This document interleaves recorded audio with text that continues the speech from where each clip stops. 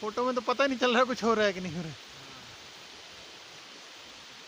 वैसे नहाने का मज़ा आता है यहाँ पे ना। हाँ, पानी बहुत ठंडा है ना।